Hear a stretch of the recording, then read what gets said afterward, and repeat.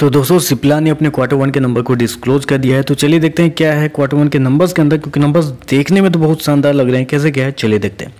Database के लिए crows में दिया हुआ है। पिछले क्वार्टर की बात करें तो पिछले क्वार्टर में कंपनी का टोटल रेवेन्यू जो कंपनी ने ऑपरेशन के थ्रू जनरेट किए थे, पाँच हज़ार सात सौ चालीस करोड़ के आसपास। पिछले साल पाँच हज़ार तीन सौ पचहत्तर करोड़ जबकि अभी देखें तो बढ़ के छः हज़ार तीन सौ अट्ठाईस करोड़ के आसपास आ चुका है। तो साल दर साल देखें तो साल दर साल कंपनी के रेवेन्यू के अंदर एक बेहतरीन तेज़ी आपको देखने मिली। अप्रोक्सीमेटली आप बोल सकते हैं उन्नीस परसेंट के आसपास का जंप है। वहीं अगर क्वार्टर क्वार्टर जाते हैं तो क्वार्टर क्वार्टर भी अप्रोक्सीमेटली दस परसेंट के आसपास की तेज़ी है। तो क्वार्टर क्वार्टर साल दर साल कंपनी का जो रेवेन्यू है, वो लार्ज स्केल पे बढ़ता हुआ आपको देखने को मिला है। चलिए खर्चे की बात कर लेते हैं। खर्चे क्या हुए कंपनी के?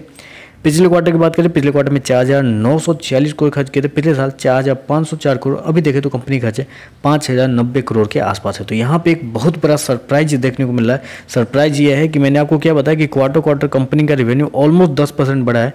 लेकिन जब कंपनी के खर्चे के अंदर जाते हैं तो कंपनी का खर्चा मात्र दो से तीन परसेंट बढ़ता हुआ देखने मिला है। मात्र दो से तीन परसेंट ये तो एक बहुत बड़ा एडवांटेज है कंपनी के लिए। इसकी वजह से कंपनी का जो प्रॉफिट है, उसके अंदर एक बेहतरीन तेज़ी आपको देखने को मिले। चलिए कंपनी का प्रॉफिट क्या निकल आता है वो देखते हैं।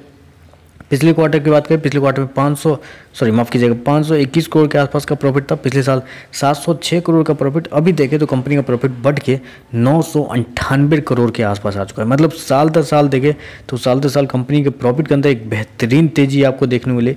वहीं अगर क्वार्टर क्वार्टर जाते हैं तो वहाँ पर भी कंपनी के प्रॉफिट के अंदर बहुत बेहतरीन तेज़ी है। मतलब क्वार्टर क्वार्टर तो आप बोल सकते हैं कि क्वार्टर क्वार्टर कंपनी के प्रॉफिट के अंदर ऑलमोस्ट बोल सकते हैं नाइन्टी फाइव परसेंट के आसपास का जंप है। और साल दर साल तो बात करें तो साल दर साल भी देखें तो अप्रोक्सीमेटली 40 परसेंट के आसपास की तेज़ी है। तो कंपनी का प्रॉफिट जो है लार्ज स्केल पे बढ़ता हुआ देखने को मिला। ईपीएस की बात कर लेते हैं।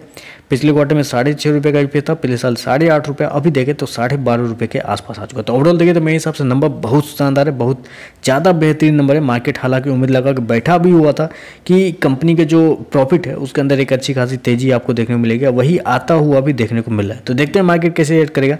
लेकिन ओवरऑल देखें तो नंबर पॉजिटिव है, हो सकता है शेयर के अंदर एक अच्छी खासी तेज़ी आपको देखने को मिल सकती है। तो बस आज के लिए बस इतना ही। वीडियो पसंद आए तो लाइक कीजिएगा, साथ में साथ चैनल को सब्सक्राइब जो कीजिएगा। धन्यवाद।